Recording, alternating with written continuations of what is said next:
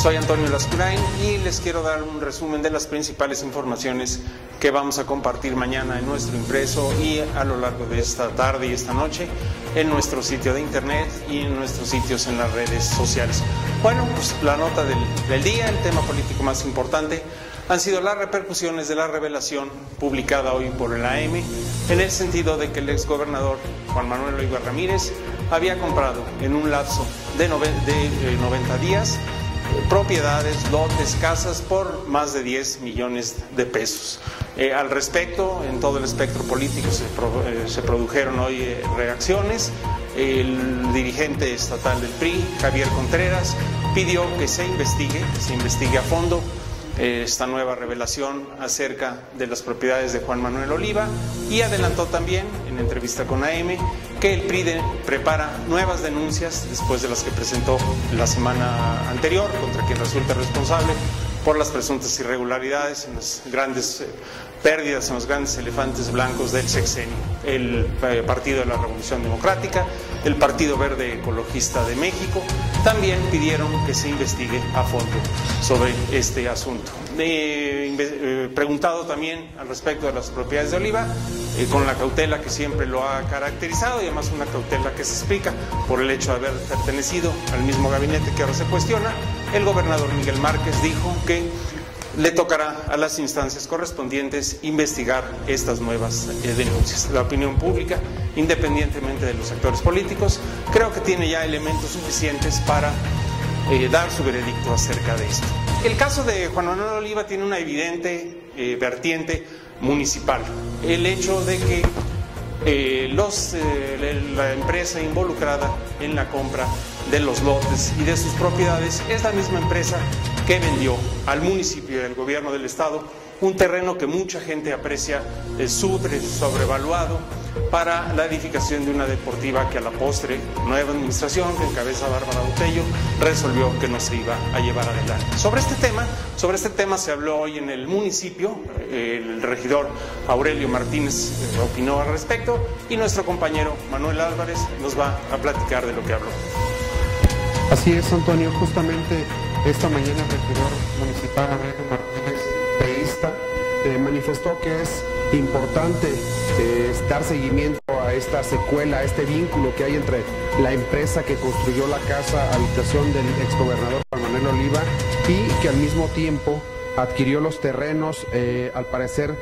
sobrevaluados o sobrepagados alternos ahí al Parque Metropolitano. Dicen que para ellos no es una sorpresa, que es más bien la comprobación de una hipótesis que se había externado en el municipio y que bueno, ahora habrá que eh, aclarar los vínculos que hay entre Villamagna, que al parecer es la, empresa que está vinculada, y el ex gobernador Oliva. Gracias Manuel. Pues bien, ahí están los elementos, los elementos que ha aportado el periódico AM con su publicación de hoy. Ahí están las opiniones de los actores políticos para que la comunidad saque sus propias conclusiones al respecto. Pasando a otro tema, ayer hablábamos de la preocupación que agobia a los leoneses sobre la creciente inseguridad. Hoy eh, la alcaldesa, la presidenta municipal, Bárbara Botello, se refirió al tema y pidió, pidió a la comunidad leonesa que tuviera paciencia, que su administración está trabajando, que está consciente de la importancia del asunto y que procurará dar soluciones. Vamos a ver qué dijo la alcaldesa al respecto.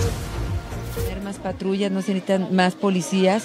que no crean que es solamente incrementar penas, que tenemos que trabajar en la raíz del problema para tener resultados, que tengan un poquito de paciencia, yo sé que es muy difícil, yo entiendo que eh, pues esto es difícil para todos los que la padecen,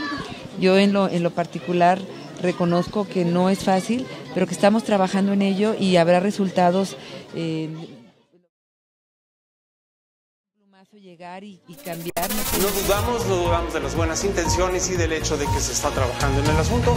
pero también es cierto que la comunidad necesita soluciones urgentes. Esta tarde, en un atraco cometido en San Juan Bosco, un cajero de una bodega obrera que se resistió fue muerto a balazos por lo que seguramente el tema seguirá dando de qué, de qué hablar.